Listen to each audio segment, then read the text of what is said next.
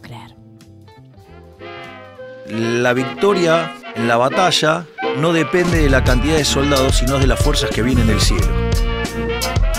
Porque yo creo en mi país. Ellos se la pasaron diciendo que este era un país fracasado, un país de mierda, una sociedad de mierda. A los que no creían, a los que no creyeron, con perdón de las damas, que la chupen, que la sigan chupando. Elijo creer una gota de esperanza en un mar de incertidumbre. Recién hablaba con mi hermano que me preguntaba algo sobre lo que pasó ayer en el Congreso y me doy cuenta que no se entiende nada lo que pasó ayer en el Congreso. Así que voy a tratar de... Porque él es una persona muy informada. Si no entiende es porque no se entiende. Así que voy a tratar de resumir lo que pasó. Los bloques de la oposición ayer, algunos de ellos, avanzaron en la Cámara de Diputados, en el recinto de diputados, con lo que se llama un emplazamiento a comisiones. Lo que hicieron fue arengar, impulsar, insistir, dejar asentado que deben pasar a las comisiones de presupuesto y educación y apurarse para que esto avance, para que el jueves, mañana o no, mañana jueves, para que el jueves estén obligadas a firmar dictamen, sobre todo en función de dos proyectos. Uno, garantizar el financiamiento de las universidades nacionales, o sea, ver qué pasa con el presupuesto universitario y cómo se hace para que se actualice sin tener que depender solamente del gobierno de turno, sino que haya una sistematización.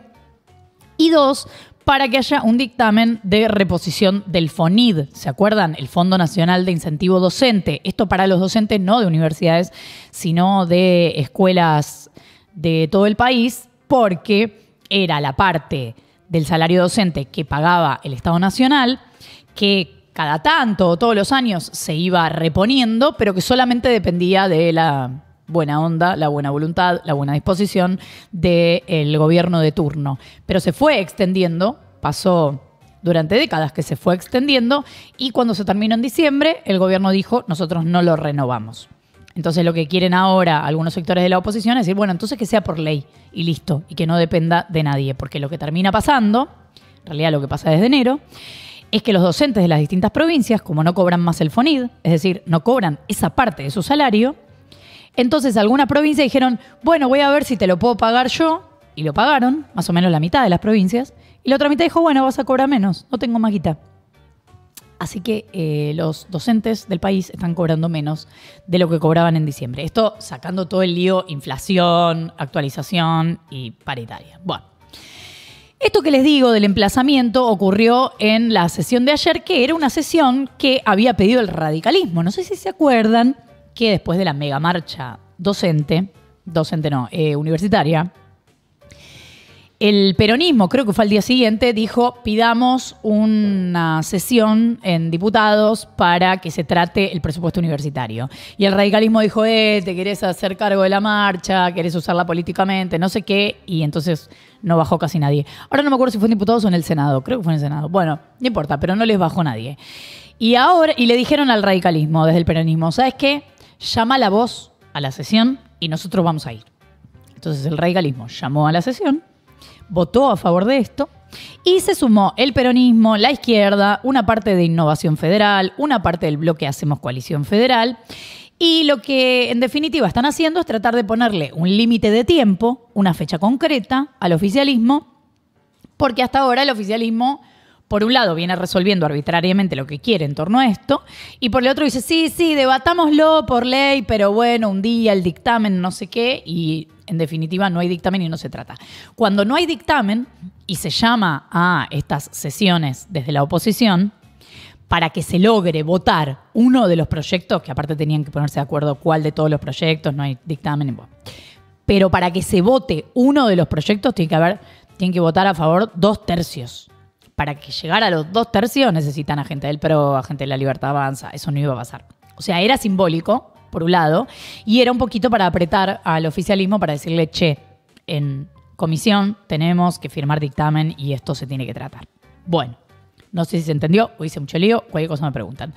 La cosa es que la relación entre el Poder Ejecutivo y el Poder Legislativo va mejorando, parece, un poquito, después de que, bueno, el gobierno todavía no consiguió aprobar nada, ¿no? Solamente tiene la media sanción de la ley bases en diputados y vamos a ver qué sucede finalmente en el Senado. Pero, ¿qué dijo ayer el presidente en el Congreso del IAF, el Instituto Argentino de Ejecutivos de Finanzas? Habló con todo oscuro, para variar, y dijo. Digo, a ver si ustedes se creen que es fácil, digamos, bancarse a estos gastos maníacos degenerados del gasto público. Fíjense que lo único que están haciendo, digamos, ahora es mandar proyectos al, Congreso para qué? Para rompernos el equilibrio fiscal. Yo les aviso, por si les interesa, que cualquier proyecto que manden desde el Congreso, que quieran romper la caja y hacer volar este país por los aires, se los voy a vetar. Me importa tres carajos.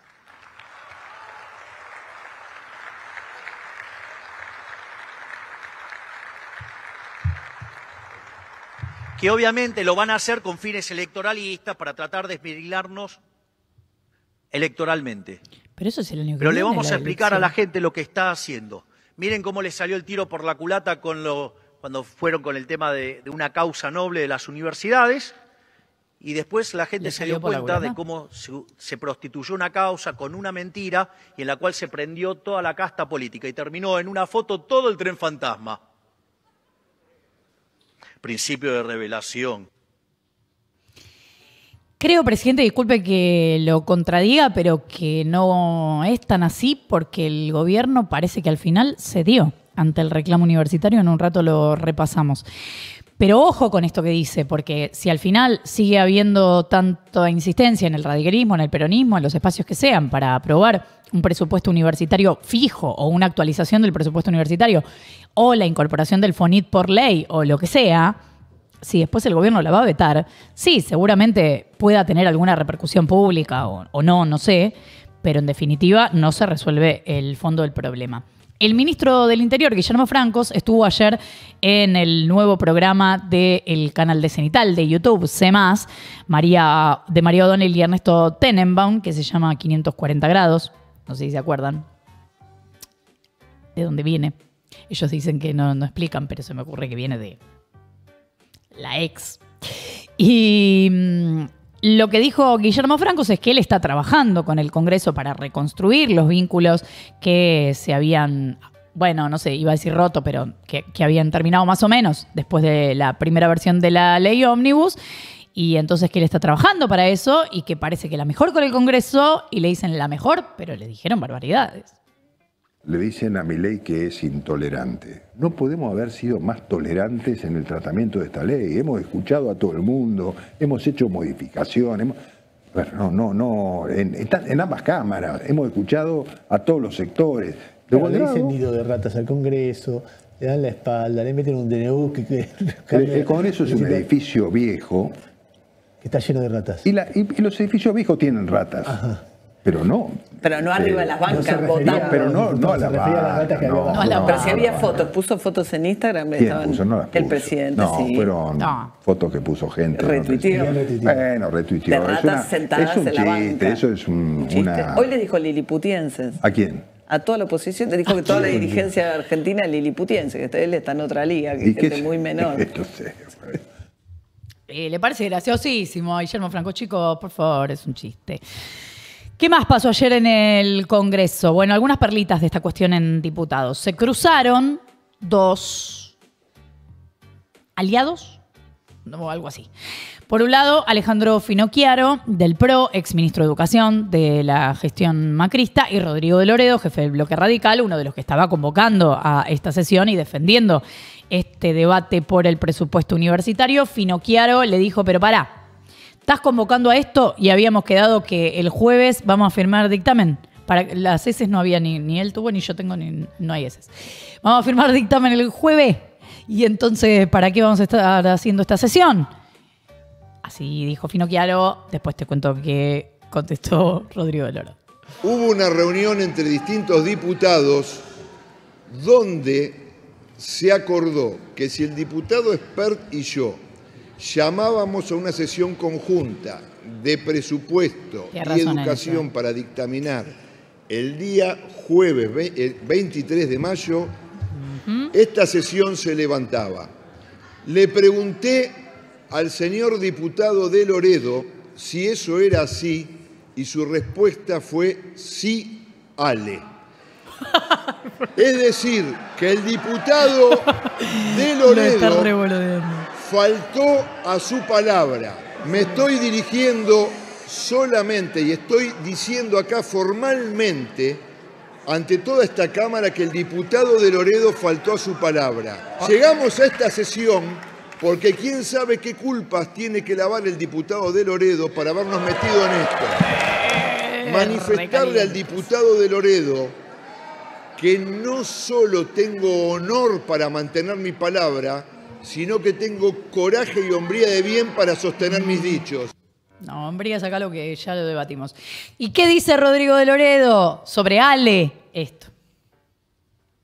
El honor es el orgullo atravesado por la ética, dice Margarito Sener. No veo en las palabras de Finocchiaro de ninguna manera una actitud honorable. Falta absolutamente a la verdad Ah. en sus términos. Mire, con aciertos o con errores trato de cultivar siempre un sentido crítico y soy un férreo defensor del gobierno que me tocó integrar, el gobierno de Mauricio Macri. Me parece que ha llegado la hora de que haga pública una de las autocríticas más grandes que tuve por haber integrado ese gobierno, que es el bajo nivel de su ministro de Educación, señor No, presidente, que queda claramente expresado por la carencia ¿Por de educación de en un hecho que en mis años de, de representante parlamentario pocas veces he visto, de manera que, que se haga cargo de sus expresiones. No, pero para, es eh, no sab- con respeto se lo digo al diputado de Loredo, es no saber discutir, lo sabemos todos, cuando vos estás discutiendo sobre un tema, puedes decir es verdad, es mentira, lo dije, no lo dije, no sé qué, y en lugar de decir eso, decir, no, porque vos cuando eras chico, ¿sabes la que hiciste? Nah, esa está raro. Mirá que no tengo ganas de defender a Alejandro Finocchiaro y su gestión en el Ministerio de Educación, pero estábamos discutiendo de otra cosa, Rodrigo. Cecilia Moro, de Unión por la Patria, había pedido repudiar los dichos de Fernando Sánchez. Es un nombre y un apellido que no quiero que se olviden. Es el secretario de culto de la Nación. Es este señor que, además del presidente de la Nación, viajó a ese acto de Vox en España durante el fin de semana, en Madrid. Y había no solamente ya criticado, primero que cuando entró a su cargo, cuando asumió en el cargo, ya se puso todo mal con todas las religiones. El secretario de culto se peleó con todos los representantes de las religiones más importantes del país. Pero después le dio a la ley del aborto, a la ley de matrimonio igualitario, se fue todavía más atrás y criticó la ley de divorcio de los 80.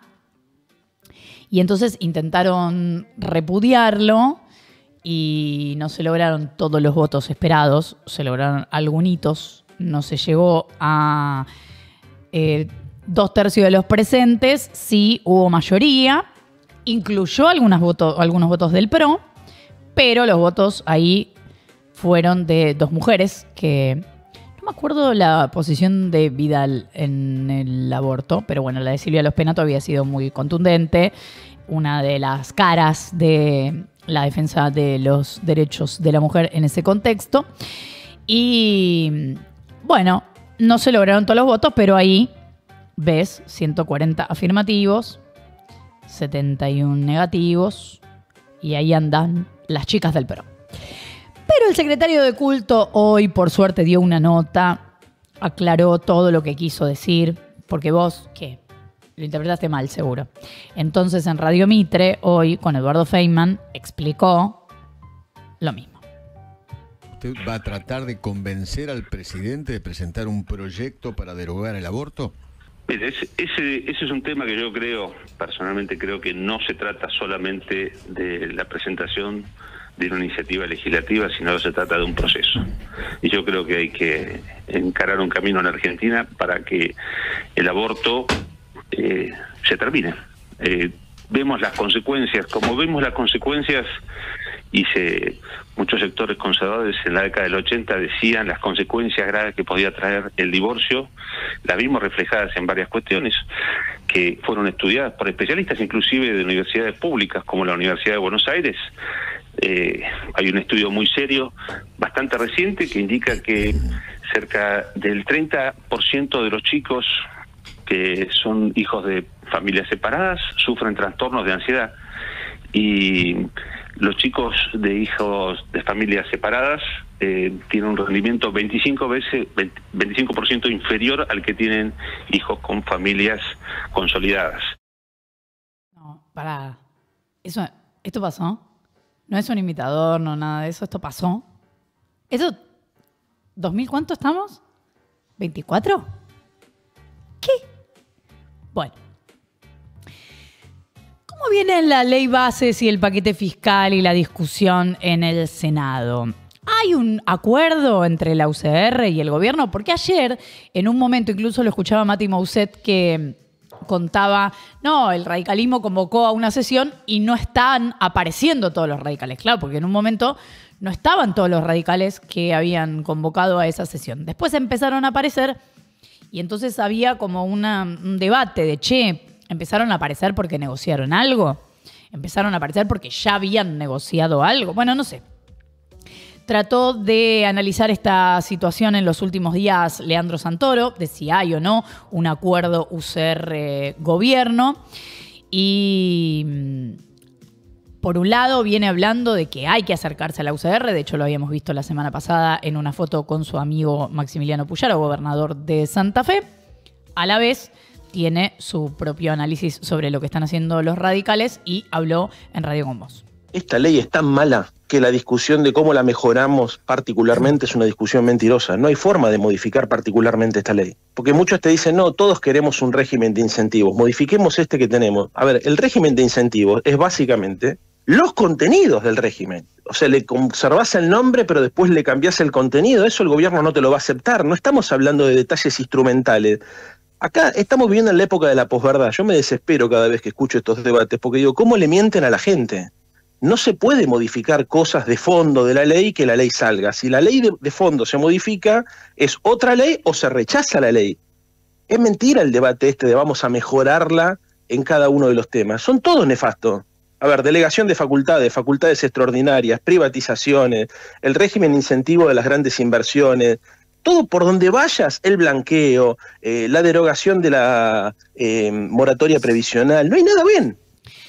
Igual me parece una discusión válida, la que da Santoro y la que da eh, una parte del radicalismo, que es, mirá, evidentemente tienen los votos para aprobarla. Uno podría decir, más o menos hay 10, 15, 20 que podrían no votarla y se podría trabajar para que no la voten, lo que sea. Pero, pero si parece que va a ocurrir, si finalmente se va a votar, bueno, entonces a ver cómo se hace para que no sea todo lo que iba a ser. De hecho, de, eso hablaba Pichetto el otro día acá con Pepe, cuando decía, la modificamos muchísimo de lo que era aquella ley ómnibus. ¿Es una ley que es un planazo? Bueno, algunos consideran que no, otros consideran que sí, pero es cierto que está muy modificada. En Radio 10 le preguntaron a Santoro cómo pensaba que podía votar Martín Lustó en el Senado ante todas las críticas que está haciendo en comisión antes de firmar un dictamen y Santoro con Amorín dice. Ustedes, me refiero a Unión por la Patria, no van a tener problema porque básicamente van a votar lo mismo en el Senado que lo que votaron en diputados. Ahora, hay otros eh, colegas tuyos, como los radicales, que en diputados dejaron pasar y pareciera ser, no me animo a afirmarlo todavía, que por ejemplo el Rigi no lo dejan pasar en senadores. No lo sé. ¿Vos creés que Lustó, que fue uno de los que más expuso en contra del RIGI, podría votarle a favor? Por supuesto. Si los tres diputados que le responden directamente a él votaron a favor. Y a mí no me la van a contar, ¿eh? Porque yo soy de la ciudad de Buenos Aires y milité 20 años en el radicalismo. Los tres diputados de él, que son amigos míos, ¿eh? Que los quiero en lo personal, pero no hubiesen votado nunca como votaron si no hubiesen sido porque Jacobiti y Lustó les daban luz verde. Mira, yo te voy a decir una cosa. El pacto de mayo es entre Lustó y Milei. ¿Por qué? ¿Cómo? Porque no leyeron los comunicados del CIM y los comunicados de Capital Humano. Sí, pero eso sería la, entrega del resto de las universidades por parte del radicalismo. Exactamente. Es el peor error político que cometieron en su carrera. Para salvar a lo propio entregaron a sus compañeros. Se adelantó, me parece. Bueno, ahora lo, eh, repasamos de qué se trata, pero está hablando del pacto de mayo. Ayer dijimos que el pacto de mayo no va a ser de mayo no se llega a aprobar antes la ley bases y el presidente había dicho que era una condición.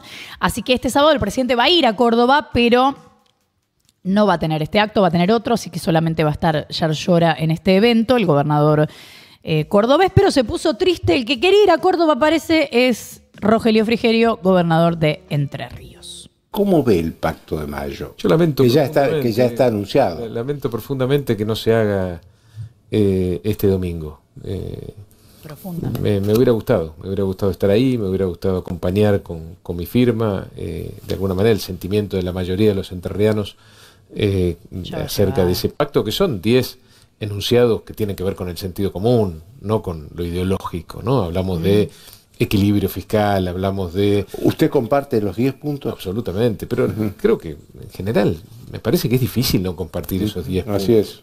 Son 10 puntos, insisto, 10 enunciados además, vinculados estrictamente con el sentido común. Bueno, la semana pasada la UBA suspendió la declaración de emergencia presupuestaria. ¿Por qué? Porque el gobierno nacional accedió darle la plata que la UBA pedía. Ah, listo, entonces ya está resuelto. ¿El problema de las universidades? No, para nada. Todavía quedan 60 casas de estudio que recibieron la mitad de lo que reclaman y nadie les prometió nada más. ¿Pero cómo? Bueno, recordemos, el conflicto empezó cuando el gobierno nacional no actualizó el presupuesto universitario, sino que mantuvo el del año pasado sin considerar la inflación. Después dispuso una suba del 70% que se pagó en abril. Se estaba reclamando un 270% por la inflación interanual. Y después el gobierno accedió a subir un 70% más. Lo que pasa es que a la UBA la semana pasada le dijo, bueno, les voy a subir el 270% que están pidiendo y a los hospitales universitarios les voy a subir el 300%. ¿Qué dijeron las otras universidades? El Consejo Interuniversitario, donde se reúnen los rectores, dijo que la decisión del gobierno es una provocación. Y a la UBA le solucionó entonces su reclamo. Bueno, según como lo mires, porque el argumento que le dieron a la UBA y lo que les voy contando es para los gastos de funcionamiento de las universidades públicas. Pero esa es la parte de los gastos que representa solamente el 10% del presupuesto total. Es la parte del presupuesto que se destina para pagar la luz, el gas, los servicios para que funcionen los edificios universitarios. Y el 90% restante, bueno, el 90% restante es todo salarios de docentes y no docentes, que están cobrando muy por debajo de la inflación con subas que el gobierno va anunciando en paritarias, porque como no llegan a ninguna conclusión en conjunto, decide de manera unilateral. ¿Y cómo sigue la cosa? Los docentes y no docentes de universidades públicas nacionales hacen paro este jueves. ¿Y qué pasa con los rectores? Ayer se enteraron por la conferencia del gobierno que al resto de las universidades también les van a dar el 270% para gastos de funcionamiento. Ojalá el lunes se los confirmen en reunión y ojalá pase lo mismo con los salarios docentes. Y ojalá todos se den cuenta de que movilizarse tiene sentido. Fin. El vocero presidencial dijo, y por ahora es solamente un anuncio público, que hay un acuerdo, que no se enteró todavía, pero que hay un acuerdo con el Consejo Interuniversitario Nacional. El gobierno ha avanzado en un acuerdo con el Consejo Interuniversitario Nacional, con el CIN, que va a permitir dotar a las universidades de los recursos en términos de gasto de funcionamiento que todos entendemos que son los necesarios.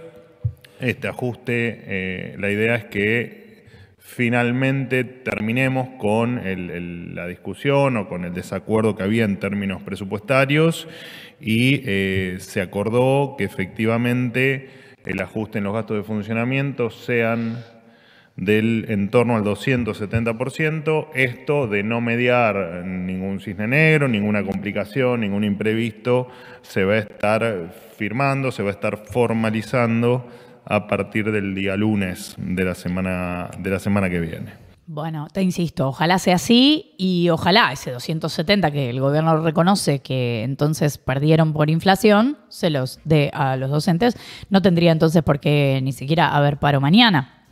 Esta última semana, igual, hasta que esto se anunció, estuvo signada por las críticas hacia las autoridades de la UBA, porque habían conseguido, no se sabe bien qué es lo que hace el gobierno, porque si el gobierno anuncia eso para dividir a las autoridades universitarias, por ejemplo, para, no sé, que haya señalamientos sobre el radicalismo, porque el radicalismo es conductor de la UBA, duró muy poco eso. Salió enseguida el gobierno a la semana a decir que les van a actualizar esto.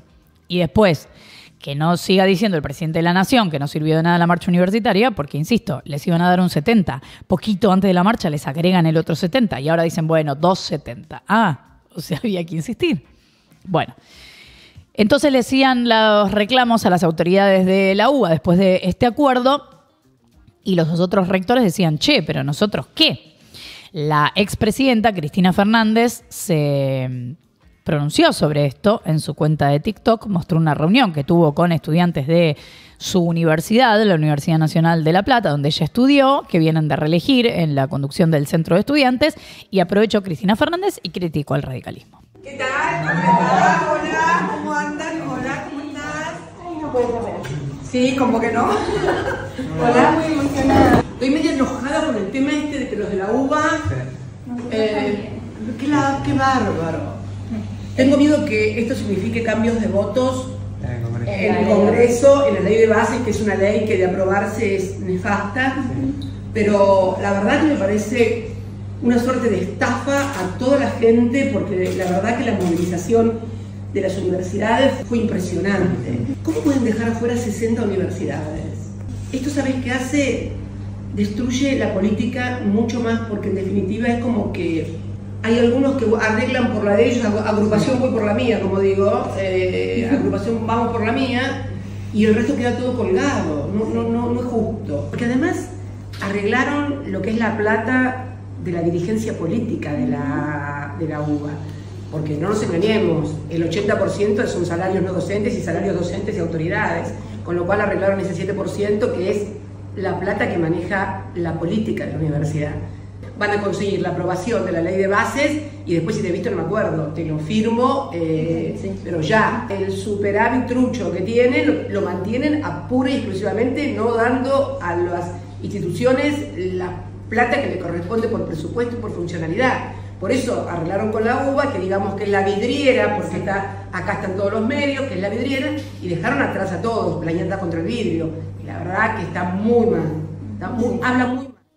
Bueno, ya no es exactamente así, pero puede ser que algo de lo que dice la expresidenta finalmente suceda, que es que es lo que van a votar los radicales en el Senado en torno a la ley de bases y al paquete fiscal, pero ahora, por lo menos el gobierno dice, todas las universidades adentro de este acuerdo. En el aire de Futurock pasaron distintas voces del mundo universitario. De hecho, el vicerrector de la UA, Emiliano Jacobiti, nos decía la semana pasada que no tienen nada que ver las dos cosas, que lo que van a votar en el Senado no tiene nada que ver, que no hay un acuerdo de una cosa con la otra. Veremos.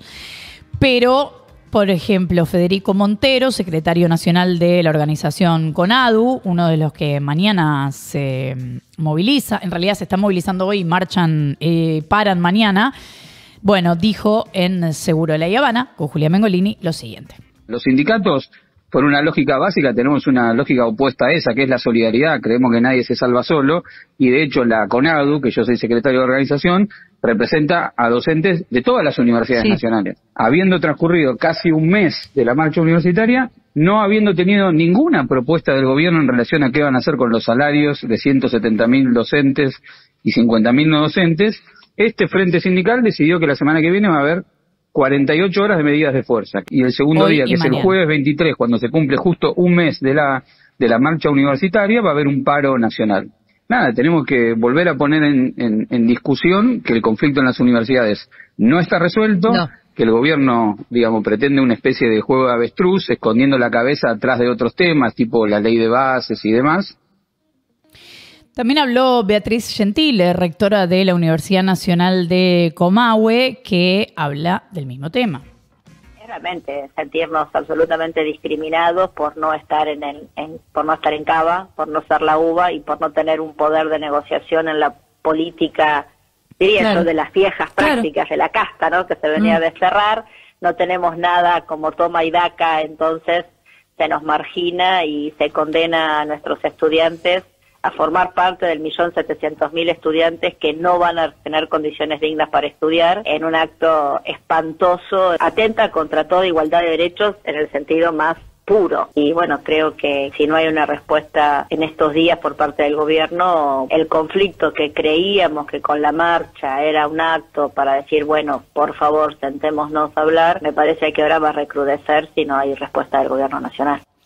Bueno, ¿por qué el gobierno nacional sale esta semana a decir todas las universidades van a cobrar lo mismo? Me parece que porque mañana, con la marcha o con el paro, en realidad las movilizaciones de hoy y los paros de mañana, si el gobierno sale a responder, se ve la obligación de salir a responder, va a decir, nosotros ya aumentamos el presupuesto universitario.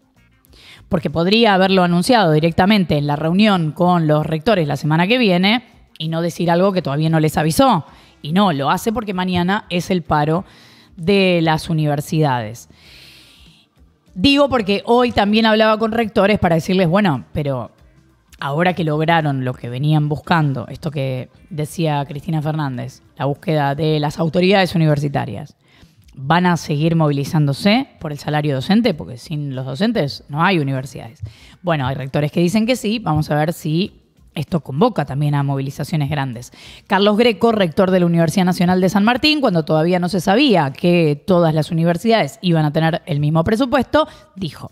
Si yo le contesto a Jacobiti o entro en una discusión, me estoy equivo estaría equivocando. Estarías En este eh, sentido, entrando en el dividir y me reinarás que pensás que puede ser uno de los objetivos. Evidentemente, Mm. nosotros no podemos discutir con la UBA, ni debemos discutir No. con la UBA. Nosotros tenemos una posición de discutir, pelear, defender políticas universitarias. Ni políticas partidarias, ni políticas de otro tipo. Lo que ponemos sobre la mesa es sostener a la educación como una política de Estado. Si otros tienen otro tipo de instrumentos para conseguir los recursos, bueno, irá por cuenta de ellos. Nosotros lo que tenemos es en nuestras espaldas la expresión de la marcha, que fue una expresión de la sociedad, que es un capital, pero que también es un compromiso para nosotros, responder a esa, a esa demanda que hizo la sociedad ante el gobierno. Lo que sí sigue escalando es el conflicto con España. El presidente Javier Milei calificó de socialista fatalmente arrogante al presidente español Pedro Sánchez. Dijo que la decisión del gobierno español de retirar a su embajadora de la Argentina fue un disparate que no tiene sentido. Y ratificó su viaje a España que se va a dar aparentemente en un mes dijo en su cuenta oficial de Twitter, de X, de, esa red social, que en junio se va a recibir el premio Juan de Mariana en Madrid por el Instituto Juan de Mariana en la Cena de la Libertad de esa institución, en el Casino de Madrid. Y hay que ver igual cómo hace para estar ahí el 21 de junio si finalmente el Pacto de Mayo se firma el 20. Pero bueno, para todo eso falta, ya se verá. Algo muy particular de este conflicto diplomático es que el encargado de contestar por parte del gobierno argentino fue el ministro del Interior, porque a la canciller no la vimos hasta ayer. La ministra de Relaciones Exteriores, Diana Mondino, no sabíamos dónde estaba, estábamos preguntando, pero no sabíamos dónde estaba. Bueno, ayer apareció en este mismo acto que les digo que estuvo Milei allí a oscuras en el IAF, el Instituto Argentino de Ejecutivos de Finanzas, y dijo Diana Mondino, no pasa nada con España. En este momento, esto es una anécdota que tenemos con España, podría ser de cualquier otro tipo de naturaleza. Es un caso bastante particular en donde la relación personal que pudiera o no haber entre los líderes de un país no pueden ni deben afectar la relación entre las- la sociedad, la comunidad, etc. España además tiene una... Bueno, no hace falta que cuente lo que es España para Argentina. Es realmente de una importancia monumental. Esto es un tema que es estrictamente interno político. La verdad que desde el punto de vista de las relaciones exteriores es, son, ¿viste los electrocardiogramas que hacen pip? Bueno, pero no debería ser algo que afecte a los próximos 20 o 30 años. Esto no afecta la relación mismo con las empresas españolas que también han llamado ayer a hacer una suerte de, a, la concordia, digamos, ¿no? Claro, justamente. Han llamado a la concordia, las inversiones se manejan de otra manera también, son inversiones de larguísimo plazo. España, las empresas españolas a lo largo de los años tienen muchísima actividad, la comunidad argentina en España y española en Argentina es enorme.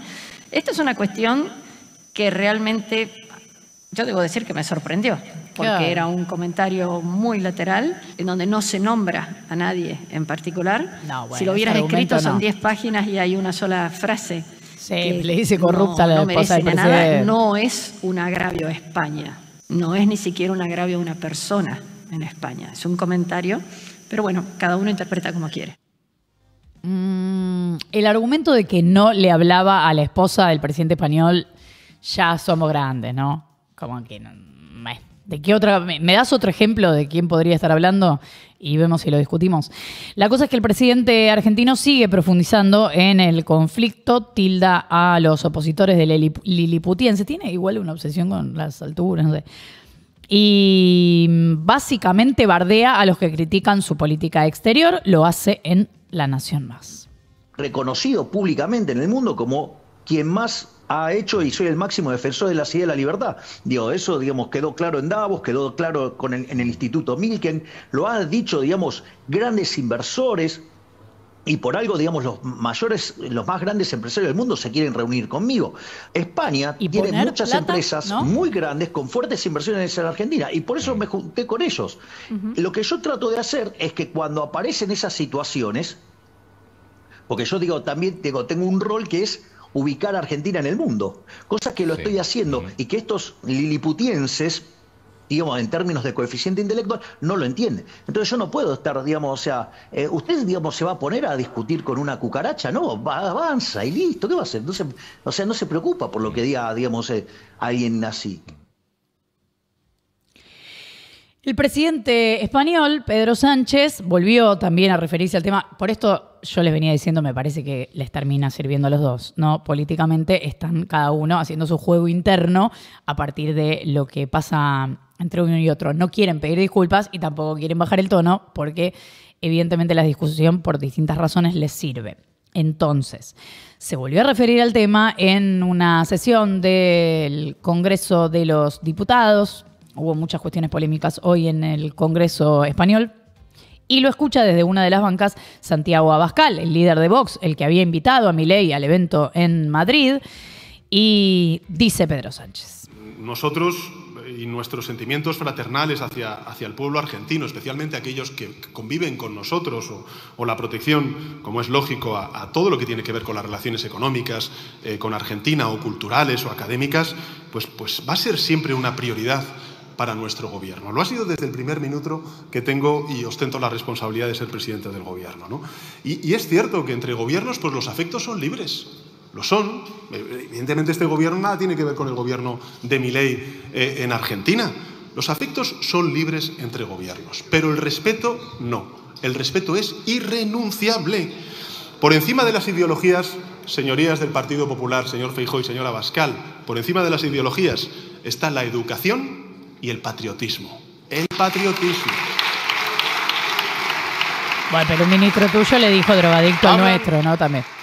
de la, de la retirada de, de una embajadora en este caso, bueno, pues es una práctica de las relaciones diplomáticas. Mm. Como acto de protesta formal, da la sensación de que aquí nunca se ha retirado a un embajador o embajadora de una capital extranjera. Bueno, al otro que le volvieron a preguntar por este tema es al vocero del presidente español, Pachi López. La derecha española le reclama a su gobierno que ellos pidan disculpas primero por haber tratado a Milei de fascista, por haberlo tratado de drogadicto.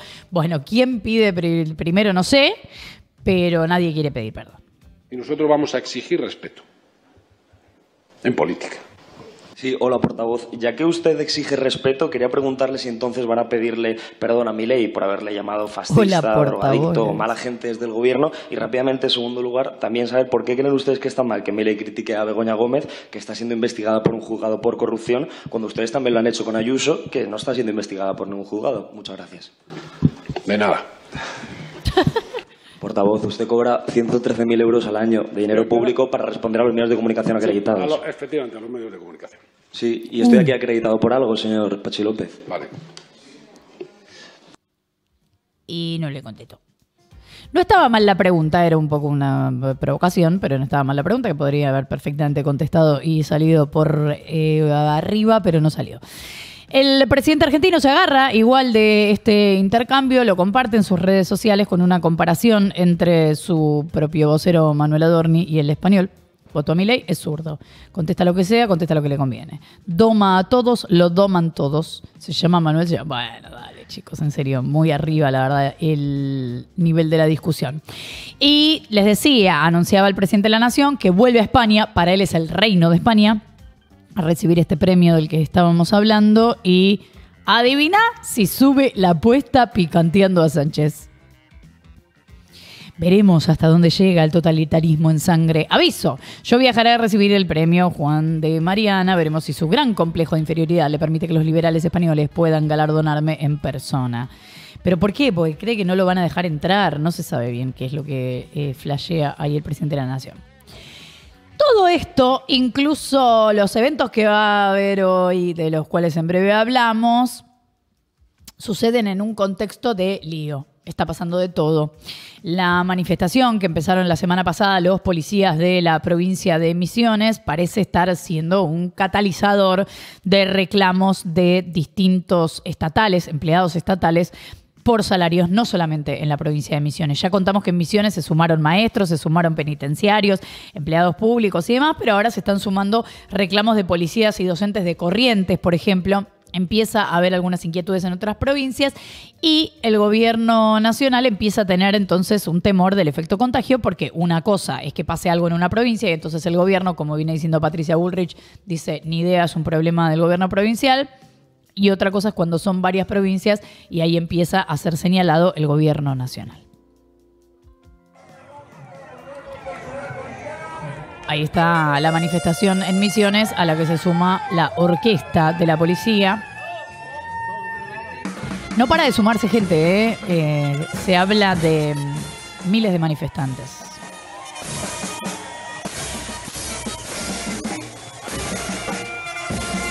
Quiero insistir cada vez que hablamos de este tema para decir cómo nos hace falta Telam en estas coberturas.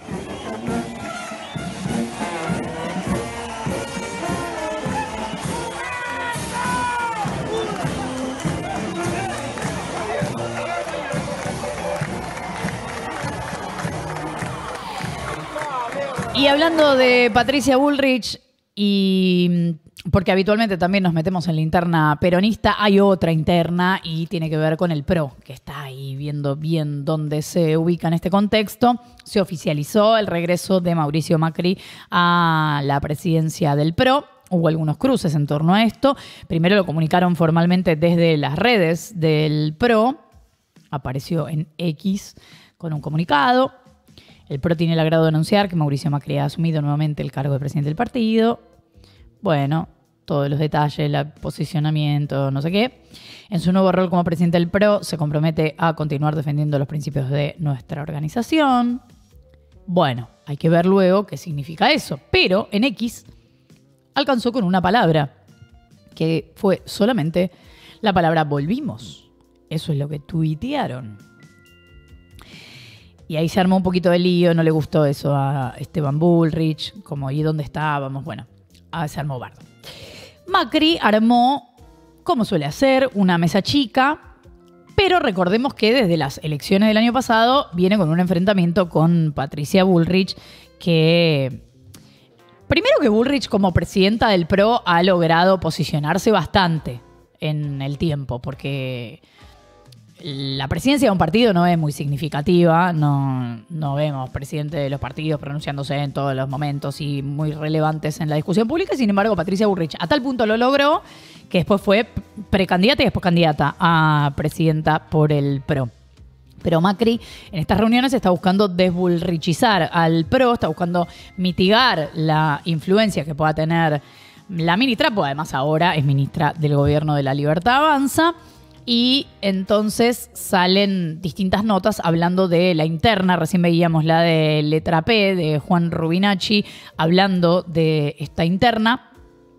Y se reunió el PRO en las oficinas de Olivos con Nacho Torres, gobernador de Chubut, Rogelio Frigerio, gobernador de Entre Ríos, Jorge Macri, jefe de gobierno porteño, Cristian Ritondo, diputado y quien encabeza al PRO en la Cámara de Diputados, Guillermo Montenegro, intendente de General Pueyrredón, y Fernando de Andrés, ex secretario general de la presidencia. Patricia Bullrich, no. De hecho, Patricia Bullrich está diciendo, bueno, ya está, medio que somos todos lo mismo, el PRO, la libertad avanza, y dio algunas declaraciones en torno a esto, hablando del expresidente Mauricio Macri, habló La Nación Más con Laura Di Marco y dijo. Vimos a un Macri en la cena de la Fundación Libertad solo, ¿no? Que de repente, eh, bueno, él fue presidente, intentó liderar un cambio y de repente aparece Milei y las cámaras se corren, ¿viste esa imagen donde las cámaras se corren hacia Milei, hay como un enjambre de cámaras y finalmente Macri queda solo en una mesa junto a Juliana. ¿Cómo, cómo ves esa imagen? ¿Cómo le evaluás? Yo creo que es eh, son los momentos en los que te toca. Hay momentos en los que vos sos eh, la, el protagonista y hay momentos en los que tenés que dejar que el protagonista eh, sea otro, porque es el actual presidente de la nación. Me parece que nadie lo tiene que tomar mal, nadie se tiene que ofender, nadie tiene que sentir que eso es algo negativo, porque mm, es la realidad, es la realidad. Y después puso en palabras algo que ya está muy visto, que lo venimos mencionando desde hace rato, lo que cuentan desde La Nación es que en un acto con libertarios, Patricia Bullrich dijo que Juntos por el Cambio ya fue, y sí. O sea, evidentemente sí. Eh, vamos a ver en qué se transforma, vamos a ver qué pasa con el PRO, pero Juntos por el Cambio como tal, evidentemente ya fue.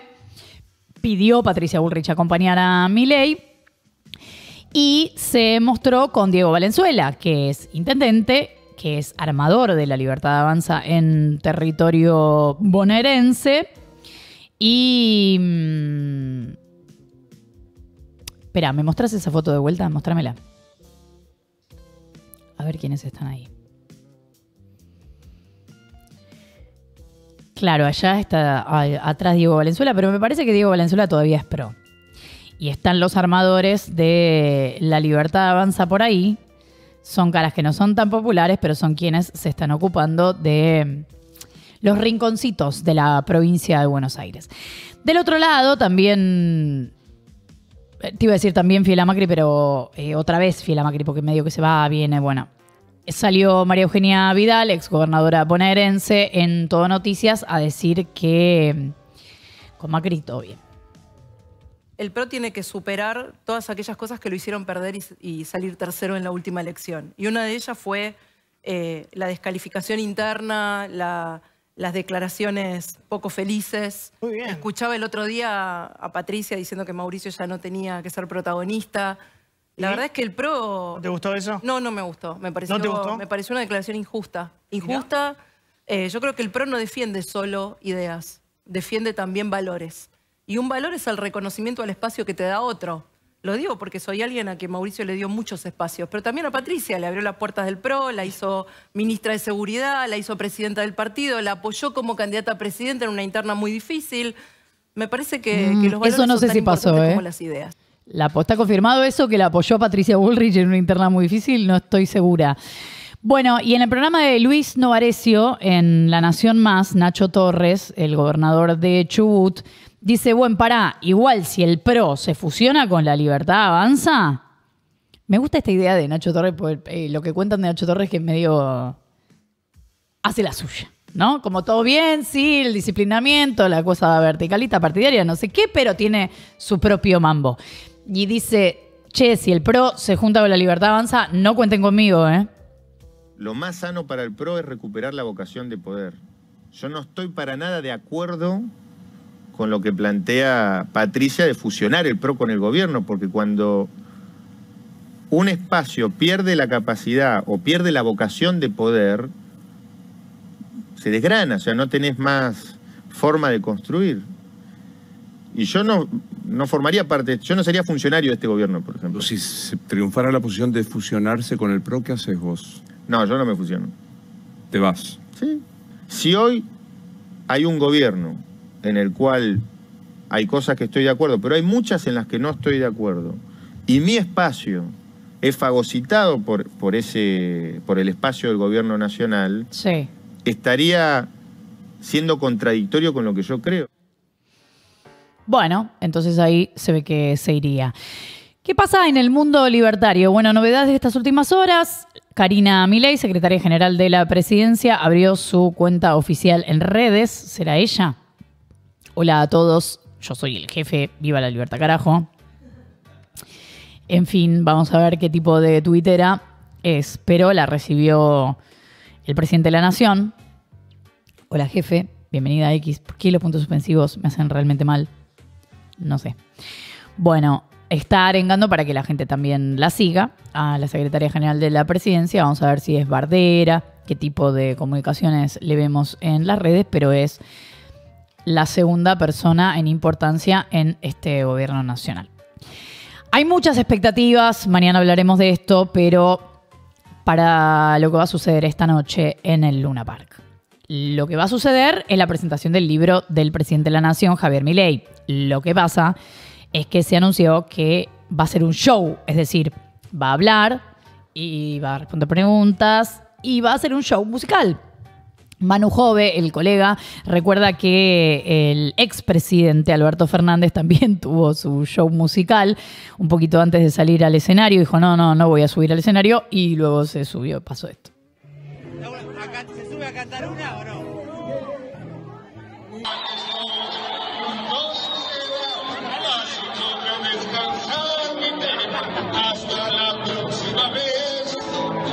Ah, pero canta arriba, ¿no?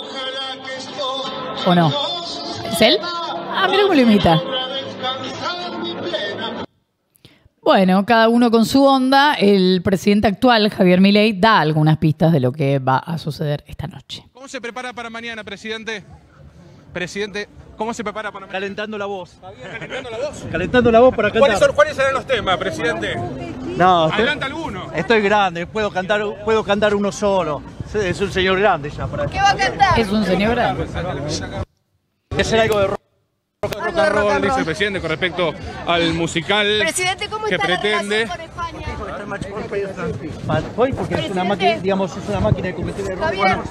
Ah, bueno, una cantidad de temas. Está haciendo un desastre diplomático y está pasando un papelón internacional. Bueno, dice que va a ser un solo tema, no sabemos, se habla de dos temas. El Alberto Venegas Lynch, hijo, el padre del diputado, dice quién va a integrar la banda. Esta noche en Luna Park presenta su nuevo libro. El notable presidente Milei cantará secundado por una orquesta, me parece que no, que es una banda, donde mi hijo Berry estará en la batería, mi hijo Joaquín en la guitarra y Marcelo Duclos, que es el biógrafo, uno de los biógrafos, ¿no? De Javier Milei, en el bajo para la previa, para calmar un poquito la ansiedad de lo que te puede generar si tienes tus, padres separados. Ah, no, si mm, eh, querés saber lo que va a pasar esta noche. Filo News recopiló los mejores momentos musicales del presidente según la mirada de Filo News, ¿no? Entonces está en el puesto número 4, diría Emilio Laszlo. Nino Bravo. ¿Te acordás de Viviana Canoso?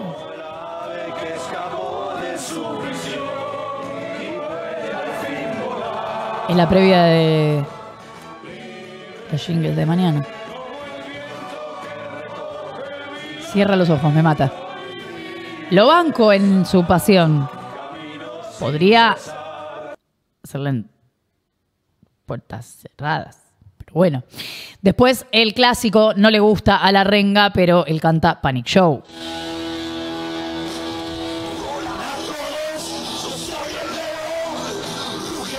No le va a hacer bien a la garganta cantar así.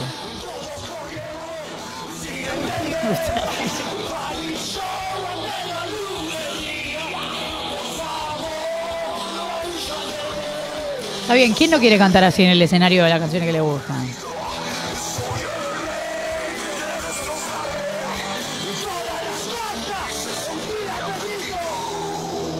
Para mí va a cantar esa, para mí. Aunque la renga no le guste. Para mí es por ahí, vamos a ver. Después está La Traviata Económica, canción original. Uy, la puta. Esa es nuestra regla fiscal. Y si los ingresos no aguantarán más, iremos al Banco Central. Eso será inflacionario, y eso será inflacionario. Capaz que hace esto, ¿no? Si no le aflojan al gato, entonces la crisis vendrá. ¡Viva la libertad, carajo! Un aplauso grande para Javier, el general ANCAP.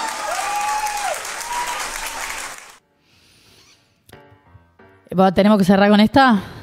Bueno, Vamos a cerrar con Leonardo La puse Fabio. especialmente para vos. Te agradezco muchísimo haciendo Fuiste Mía un verano. Yo te digo, si vos querés identificar más o menos, no es que me quiera tirar mi chivo para nada, pero si vos querés identificar más o menos por qué es raro que el presidente reivindique de este modo las canciones de Leonardo Fabio, léete Fabio Vigente, el libro que editamos en ediciones Future Rock que te describe las pasiones de Leonardo Fabio y no tienen nada que ver con las de Javier Milei. Igual eso para mí habla bien del presidente de la nación, pero de paso chiveo. Y esto era lo que hacía en el programa de Guido Casca hace unos años. que otra vez será tierno amanecer. Sé que nunca más. Gracias Marco Arauz en la operación vos déjalo, ¿eh? Emilio Laszlo en la producción, Sofía Hebrea en las redes. Nos vamos con Fabio cantado por el presidente de la nación, cuando no era presidente, ni siquiera pensaba que podía ser candidato. La pasión, creo que va a llorar. con un libro en la mano me traerá tu nombre. Ay, bueno, veremos qué hace esta noche. Nos reencontramos mañana a las 12 del mediodía en un nuevo Elijo Creer.